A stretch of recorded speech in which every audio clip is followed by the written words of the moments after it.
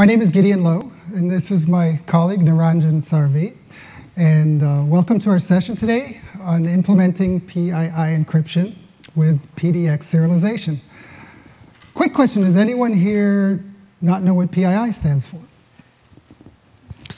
Okay, well, uh, personally identifiable information. So it's that stuff in your data that you want to make sure is never exposed outside your firm. So let's look at uh, a few of the trends over the last few years. According to uh, breachlevelindex.com, there were over 1.3 billion data records stolen in 2017, and that's up 68 million on the year before.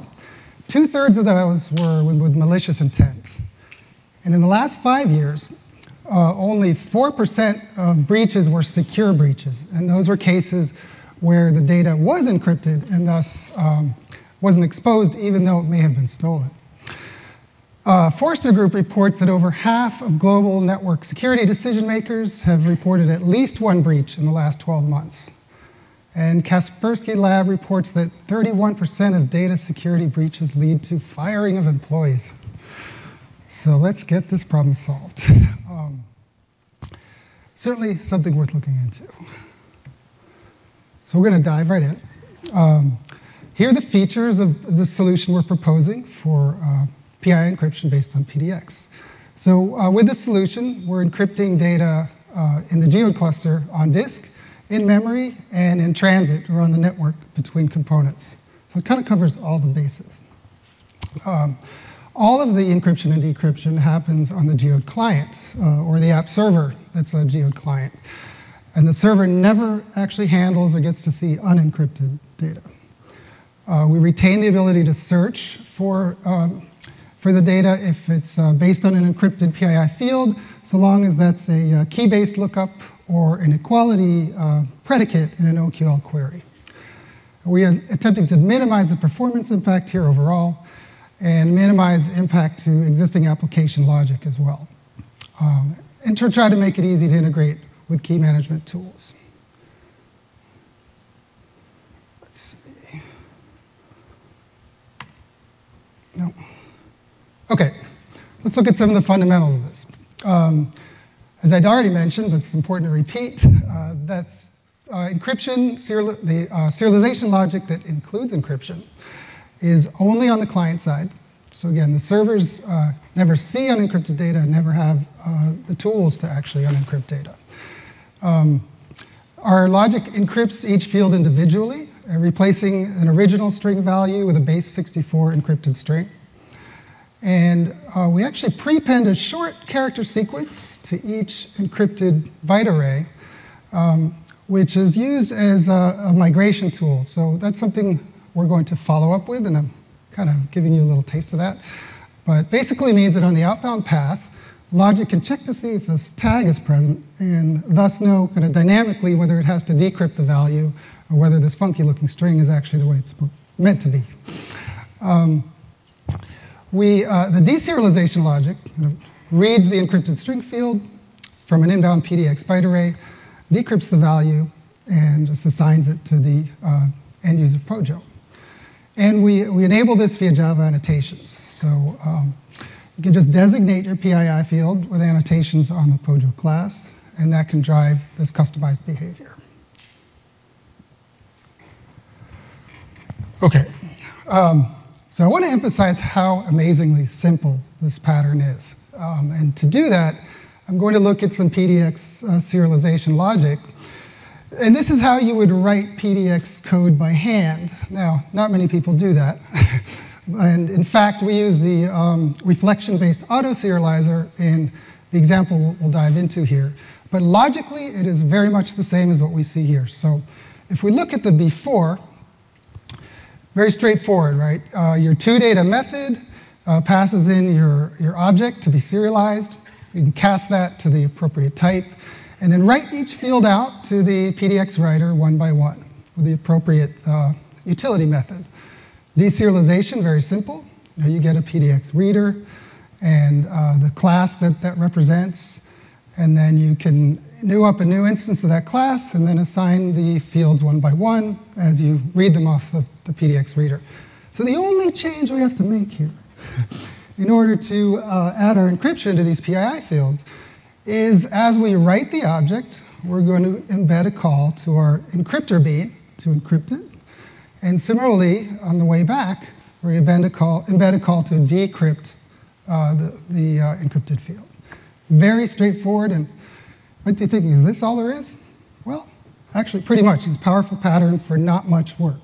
Um, but we've done a little, made it a little bit fancier and more useful than having to hand code it. So let's move forward.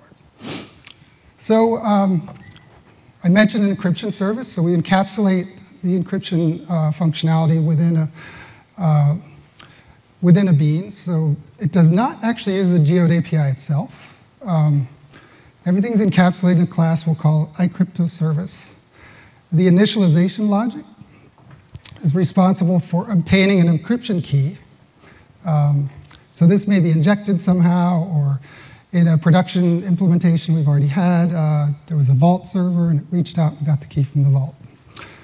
Um, there are only two public methods on this, just encrypt with a string and decrypt with a string. Again, very simple. Um, we, we provide the option to load any cipher that's available through the Java cryptography extensions. So uh, we use the JCE, and that kind of handles any variance in regulation, international regulatory structure or issues like that. And we wire this in as a singleton Spring Bean.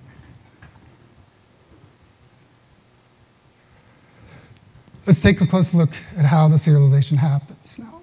Um, so uh, we've implemented this as an extension of the reflection-based auto-serializer. Um, and uh, we, this can be enabled through the PDX configuration on the client side. So that's either through your client cache, uh, through the API directly, or even through Spring Data GemFire. Um, the auto serializer reflects on the Java classes that it's been, uh, that it's been uh, told to look at. Uh, at runtime, this just normal behavior will build a metadata repository of all the types and their fields um, to share across the system. And so it's reading in all those classes and making the, uh, the reflected values and, and, any annotations available as well. So uh, there are three extension methods that we handle in the reflection-based auto serializer. The first is transform field value, and that is just the opportunity for us to choose which fields we want to have special behavior for and which ones we want default behavior for. Um, and then at runtime, we've got the write transform method. So that's if we want to transform the field value, this is what we actually do with it, and the read transform method on the other way, on the return path. We'll look at that code in a few minutes. But a quick preview of the code. Uh, the transform field value implementation we're seeing here. So all we do is we check to see if a given field has the annotation present for PII encryption. If it's there, we're going to do special handling for this, and otherwise, default. Okay, let's look at uh, this visually. So the initialization steps, we bootstrap a Java JRE, and that has the JCE ciphers. And uh, we have this Spring Boot app, so that, uh, that uh, launches a Spring context. And here, we initialize our reflection-based auto serializer. So that reflects on the classes and builds up the PDX metadata repository, including our custom annotations. We've got the crypto service, so that obtains a key from the external source and instantiates your cipher. And we have a, a wrapper on the Geode client API, um, probably similar to what a lot of you guys use in, in your own uh, Geode applications, and that's just a, uh, wrapper around the various Geode API calls that we make including connections and any reader writes. At runtime, okay, so we have the same the same three components. Data op requests come in. Um, they get passed to the Geode API to either read or write to a region.put, maybe do an OQL uh, query. Um, any of the custom objects in the write events get uh, passed under the PDX serialization layer, where they call the crypto service, and then the encrypted data gets passed into the, uh, into the geode cluster via the client connection pool.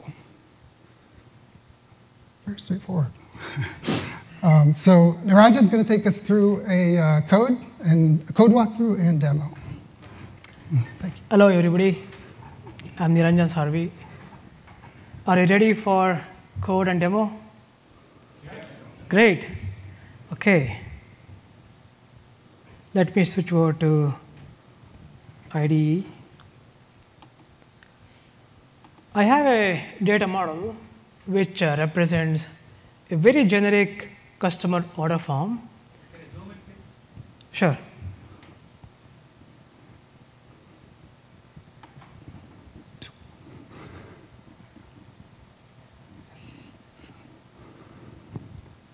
Can you see now? Uh, let me do that a little, bit. There we Is that fine? Yeah. Okay, good. Yeah, so this data model has a personal information and uh, customer address and credit card details. So this model has uh, PII fields which are designated for encryption using annotation called uh, enable encryption. So these fields needs to be encrypted and stored in a geode, right? So let us take a look at different components which are wired together to perform encryption. So the first component is the crypto service.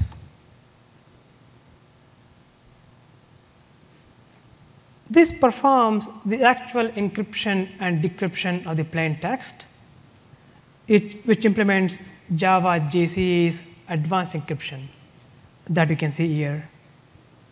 And this implements uh, encrypt and decrypt method, which are called by other components, like the custom PDX serializer.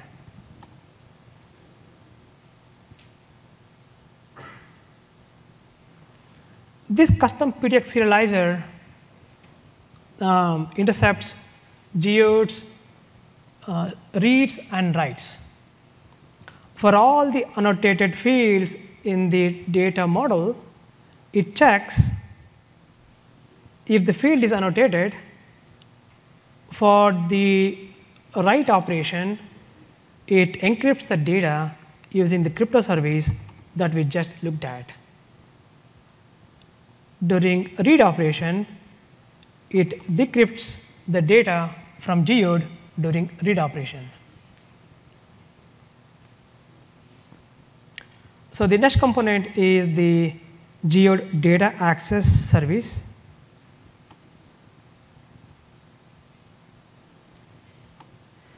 This again, uh, this is very similar to your existing applications uh, service pattern which implements um, pretty um, uh, reads and writes and other OQL queries, uh, very similar to your existing patterns. Um, in this case, the only difference is the registration of the custom PDX serializer that you can see on the line number 46.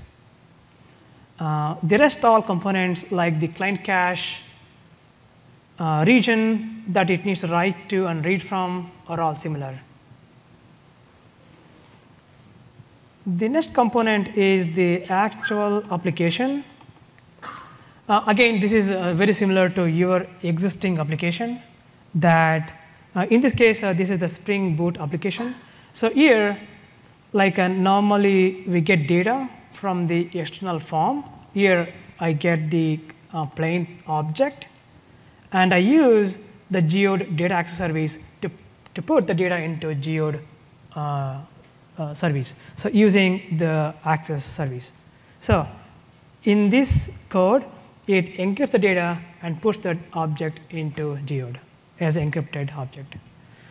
So to sum it up, um, for your existing applications, there is not much changes. However, you need to implement um, the custom serializer and the encryption algorithms, like, like we just looked at. So now I have a few test cases. Uh, will, we will just run through it and we'll come back and explain.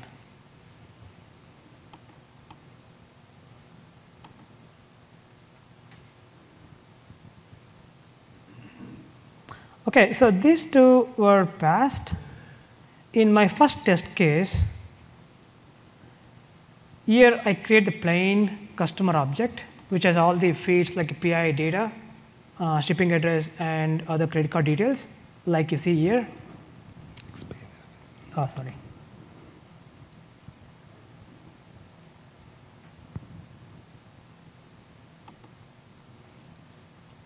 So in line number 59, I call the uh, geode access service to put the data into GemFire. So in this case, it encrypts the data and puts into geode.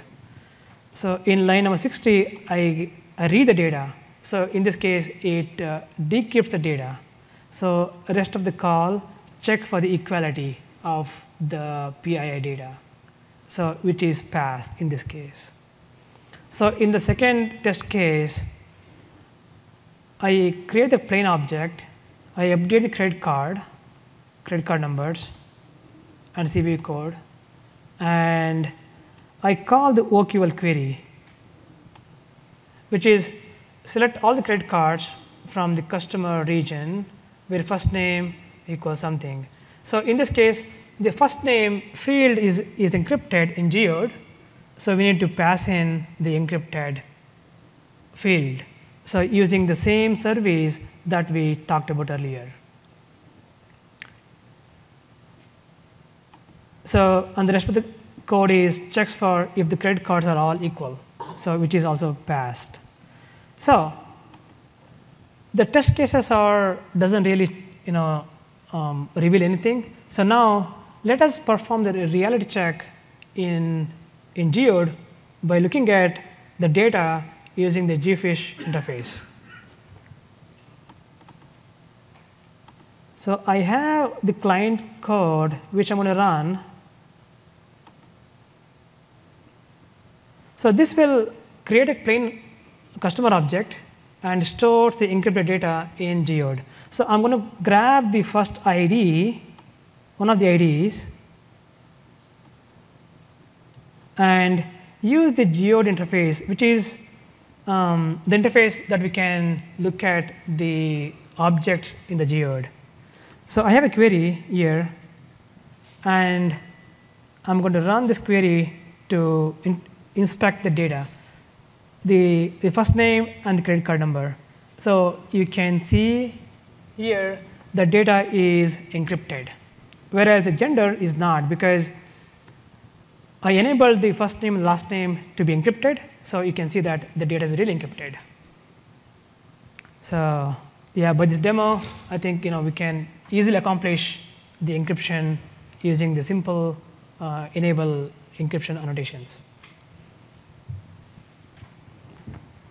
Great. So let's see we are. Here. Right? Okay. So this is actually all available on, uh, on our uh, Pivotal Data Engineering GitHub site. Um, and uh, I'm happy to see everyone's trying to get a snapshot of that. I'll leave that up, actually. We, uh, that concludes our, our prepared slides and, and our uh, demo code walkthrough. Um, so we will leave some time for Q&A. Uh, if we have a little extra time, I'll mention um, some follow-up work we're doing. Uh, we've written a, a soon-to-be published blog on how you would migrate some existing data um, from unencrypted to become encrypted with this pattern and achieve that with zero downtime. Um, so we're finding with different patterns that we implement that that's a challenge um, which often requires a different approach and uh, so we found one that we think is uh, powerful for this and, and maybe extension uh, later. So to give that as much time as possible, let's go straight to questions and answers. Um, Sure, go ahead. Uh, So uh, the question is, uh, do we have an example of how much overhead um, this creates compared to an unencrypted solution? Uh, and the answer is the PII fields themselves will tend to you know, be maybe 50 to 100% of their original size. Um, and uh, kind of the overall throughput or latency impacts are, are minimal, but um, you know, probably less than 10% in the tests we've done. Kind of, they, they correlate to the increase in the size of the object pretty directly. Exactly, yeah. So in terms of data size, you know, it adds like 10% of data size. And uh, CPU-wise, you know, we observed, you know, same thing. Like only during um, like mass encryption, like, you know, Gideon is going to talk about next. So we just see very tiny incremental steps there. Do you have any uh, reference uh, s- on the Microsoft code, this is for Java, anything in .NET that you have implementation? So uh, yeah, the question is, uh, do we ha- have we implemented anything for uh, the .NET or native client? And um, we haven't, although uh, the same pattern should be applicable in, nearly the same way um, with, the, with, with the native client. There'd be a couple differences, probably. Uh, so you'd have to designate them. You know, I, I don't know how annotations might work in that, uh, but. Uh, maybe some variance in that. Um, but you have the same extensibility available, um, certainly in PDX, and, and I believe in the auto serializer as well in the native client. So it should be pretty much a match. And the server wouldn't know the difference whether it's a Java or native client anyway. Hi, Jeff, go. Have questions. Um, Seems like encryption, decryption's um, mechanism is happening on the client side. Um, Any limitations on server-side function compute and stuff like that? function. Uh, so, so yeah, the question was, um, given that the encryption and decryption all happens on the client, uh, would this have any impact to uh, logic implemented as functions? And I guess the answer to that would depend on whether um, you actually need access to un- unencrypted data in that logic. So if you, if you don't, you can just treat it as a byte array the whole way through. You could copy that into other objects. Um, uh, you had pretty free hand within the context of the function execution to do anything except for decrypt. um, now, you could, this could be extended in some ways to allow decryption to happen on the server cluster under certain conditions. We have not done it that way uh, simply because out in the field, when we discussed this with customers, that seemed to be kind of a hard requirement. So, no, no, no, no, no, there can't be a way to decrypt this on the server. That would kind of undo a lot of, of the good that's, that's happening here. So um, we could probably dig into some more specific examples, but uh, I think for many use cases it would be fine. For some, probably not. When you were demoing, actually, you mentioned it is actually client side, but you know, it's a Java code, most likely client side is an a JavaScript or HTML page, right?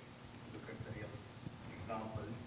My question is basically, do we have to adapt a specific, you know, base 64 encryption to just decrypt this code if I have a key?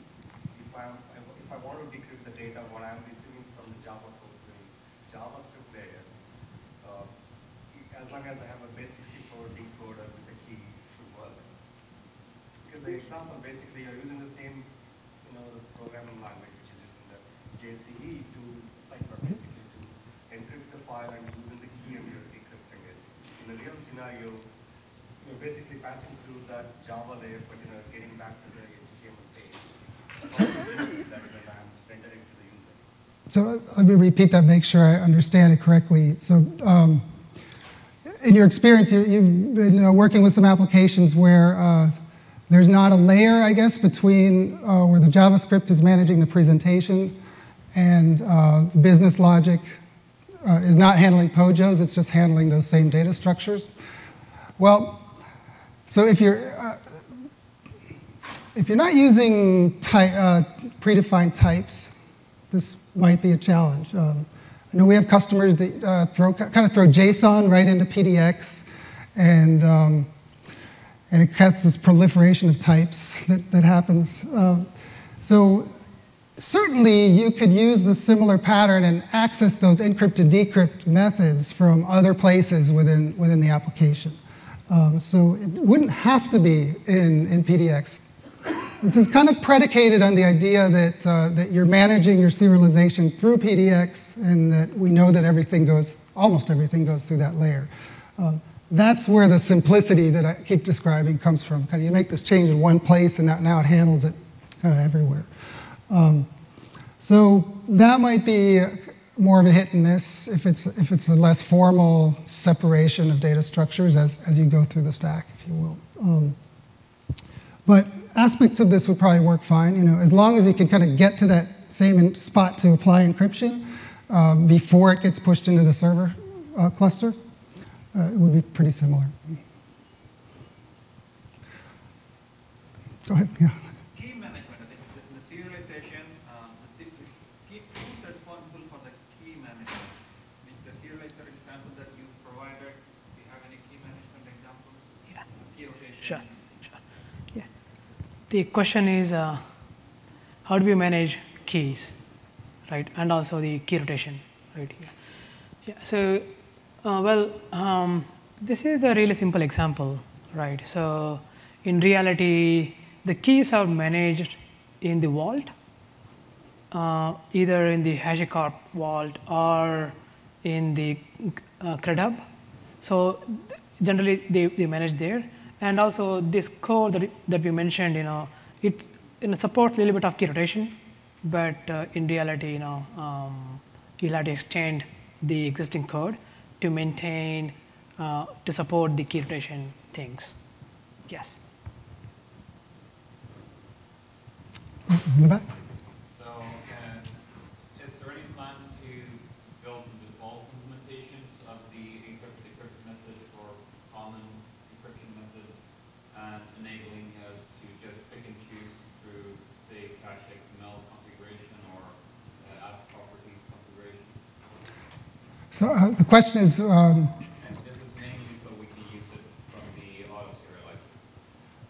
could this become a configurable option um, that's productized? I think so. I think that's something we're exploring. Um, several people in this room could probably answer that better better than I. um, so there's there's a lot more to think about in terms of a, a productized solution. And I think we wouldn't want to force people to use the auto serializer, for example.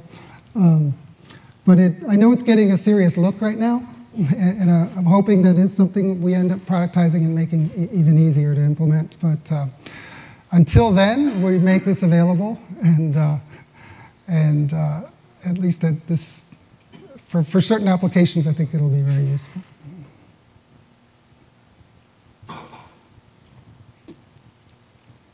Any other questions? Go ahead. In one of the test cases, we have a, like a query against the encrypted value.